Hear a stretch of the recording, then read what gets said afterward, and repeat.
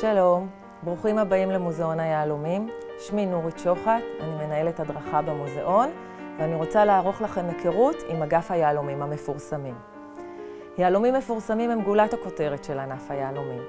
מדובר ברשימה קצרה, אבל מאוד מרשימה.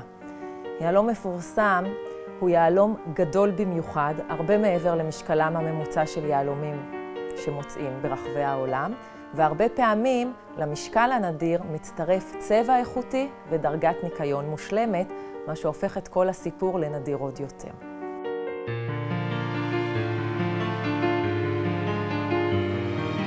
הצבע המוכר ביותר ביהלומים הוא הצבע השקוף, אבל בטבע ישנם גם יהלומים צבעוניים.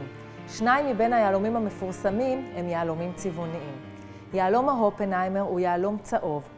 הוא נמצא בדרום אפריקה, באזור קימברלי, והבעלים שלו החליטו להשאיר אותו כגלם ולא ללטש אותו.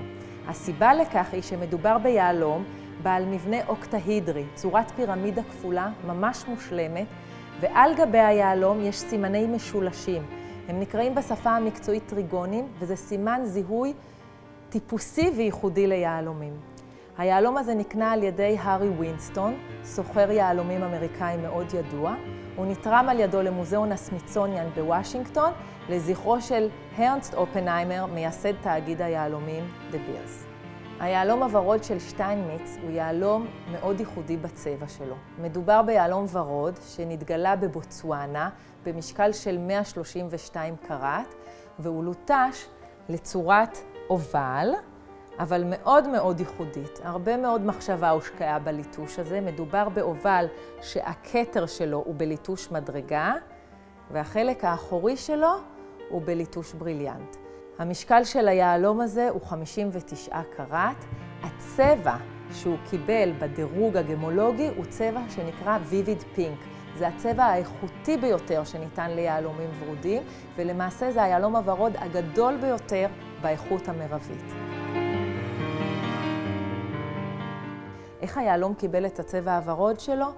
בזמן ההתגבשות של היהלום, עוד במעבה האדמה, רכיב כימי, במקרה של הצבע הוורוד זה מגנזיום, נלכד בתוך הגביש, הפר את הגוון הלבן של הצבע השכיח יותר ביהלומים, והעניק ליהלום הוורוד הזה את צבעו הייחודי.